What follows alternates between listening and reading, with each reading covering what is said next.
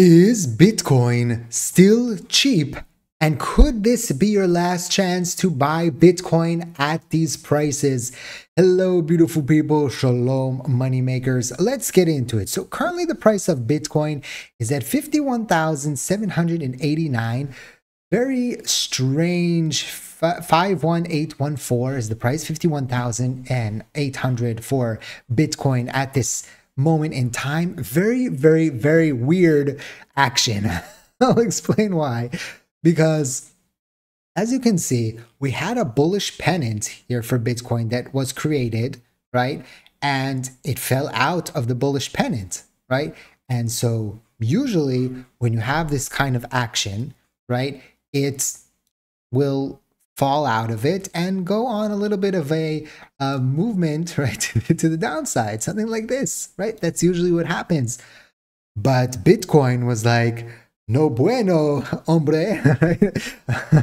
Oh, that, that was a very bad spanish uh, grammar. I'm sorry about that.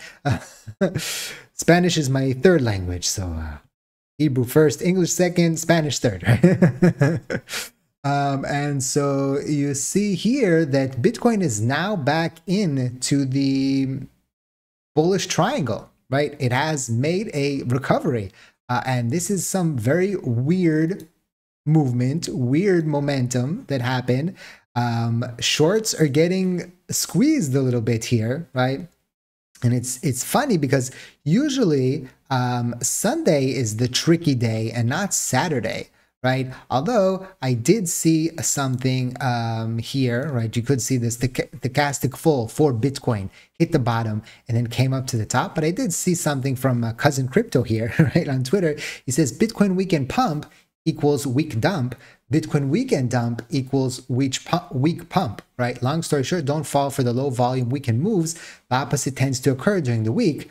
But we just saw a total 180 here in the same day, right? Um, it was like, OMG, we're falling out of the bullish pennant here for Bitcoin, right? And it dropped 2.3%, but that whole 2.3% all off has now been recovered. So, very, very interesting action here for Bitcoin today.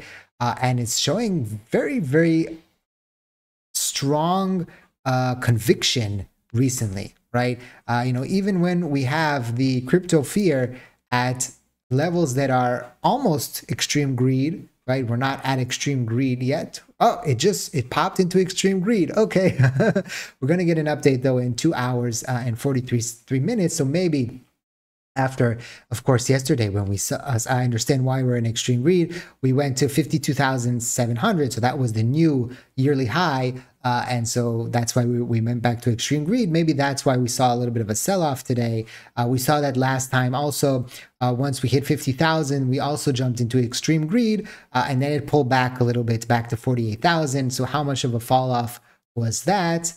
About 3.3%. Okay, so it makes sense to me now. I understand why it fell off. Also, technical, the bullish uh, pennant got broken, uh, but it just coming back like it came back here, right? Stochastic full hits the bottom and comes back. Right, uh, sometimes the algos uh, for Bitcoin just work the way they work, right? Uh, and we're seeing continue uh, accumulation of BlackRock. They are already accumulated six billion of Bitcoin in the last 45 days, right? Massive, massive amount. People are going to BlackRock, right? Uh, ETF. I know all the all the people that I see here in Israel um, that are interested in Bitcoin ETFs, they're all asking about the BlackRock one. They're not asking about the Fidelity one. They're not asking about any others. They're asking about that one, right? Uh, and it seems you know BlackRock is the the most famous name, more than Fidelity, right? Although in the U.S. it's it's I think Fidelity is more um, famous, you know, or, or, well known because of, you know, many people have an account with them. But around the world, people really don't know them, right? They know BlackRock though, right? They know the BlackRock ETFs. People that invest in ETF know them, right?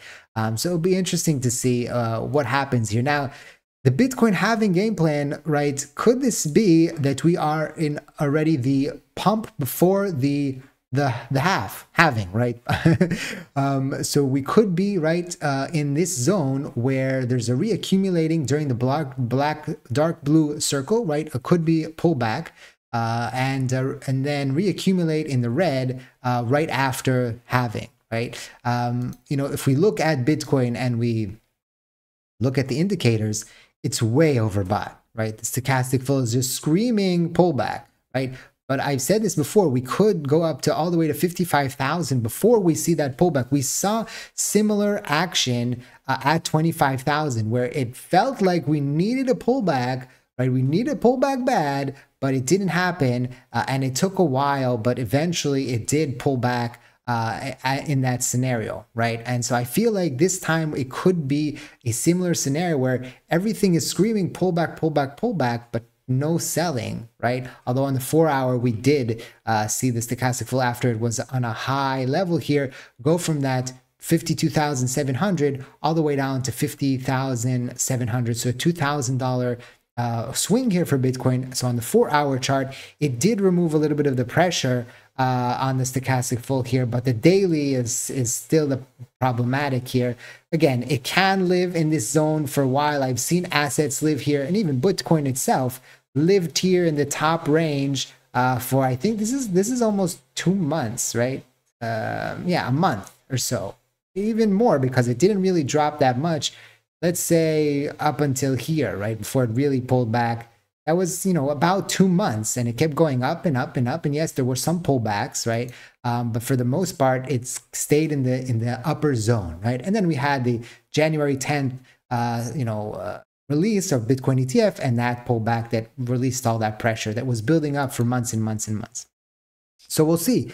Like we could we could get a 55,000 push, then a pullback, and then into halving a question the all-time high. Although historically, you know, it, it's taken a little bit time after halving we're in a unique situation where we're a lot higher than we were previous cycles.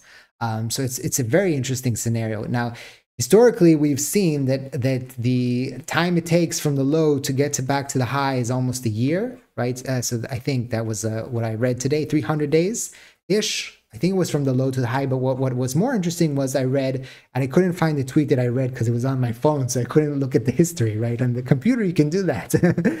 But um, uh, it said that there usually it's a thousand days uh, between one all-time high to the next all-time high right? So that's about three uh, plus years, right? Uh, no, sorry, from the low to the new all-time high, right? Um, so if we like zoom zoomed out there, uh, it um, was the low of the cycle. Okay, I think I'm messing up what what it said.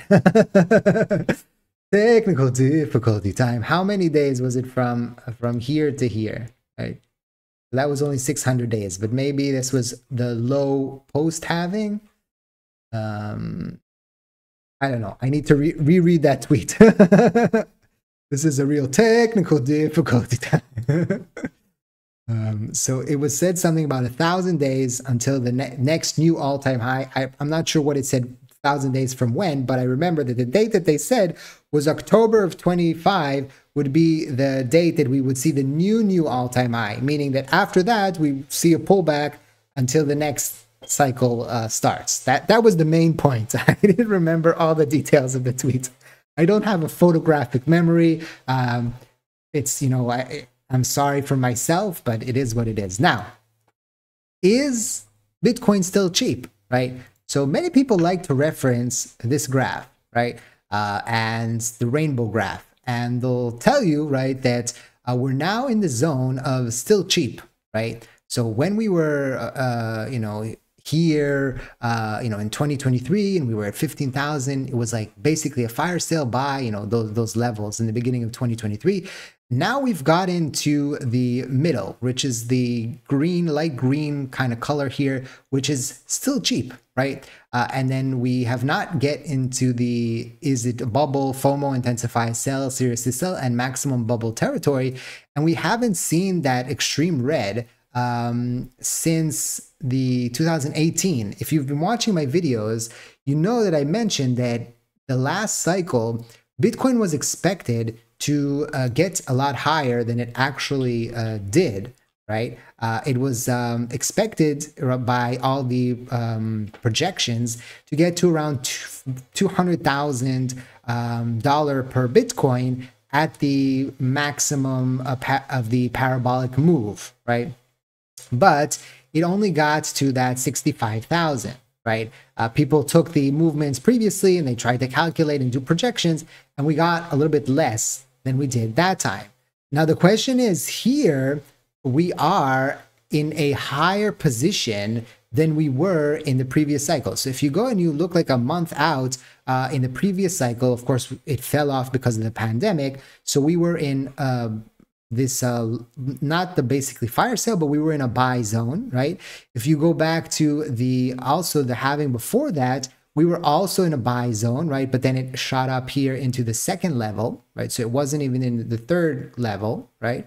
Um, and before that, it was also in the blue, right? Prior to halving, right? This time, prior to halving, we are already at, right? We're not at the basically fire sale. We're not at the buy. We're at the accumulate and almost right into the still cheap. So Bitcoin is at a lot higher value than it was in the previously three cycles.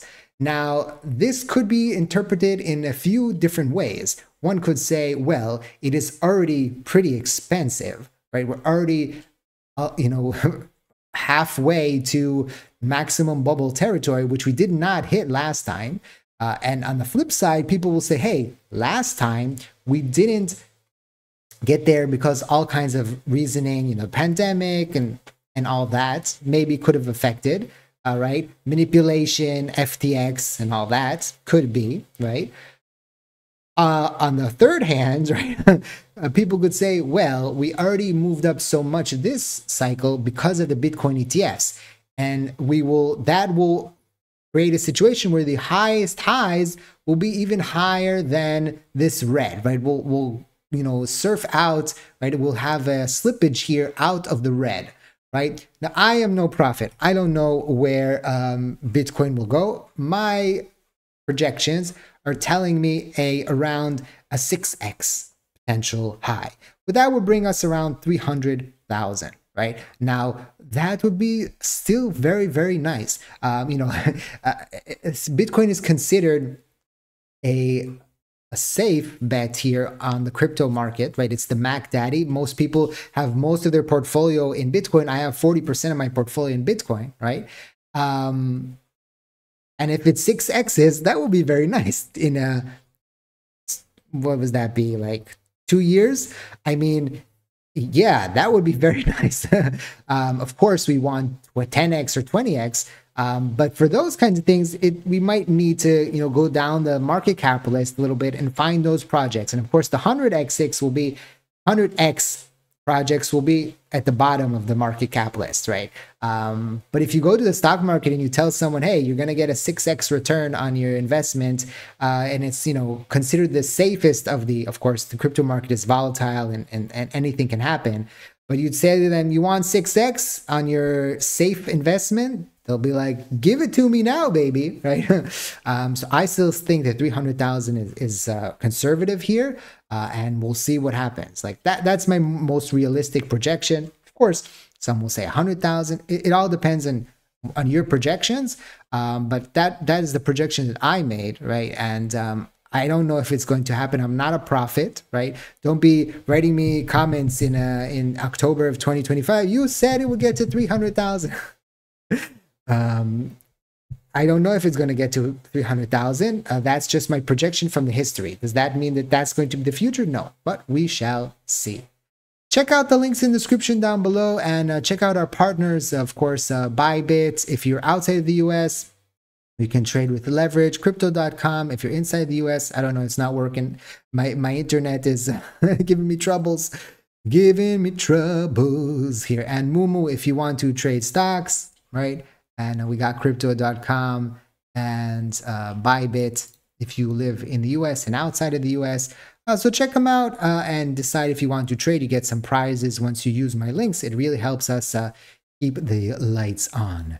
Don't forget to smash the like button. Thank you for watching. I hope to see you next time. And like I always say, let's make a lot of money.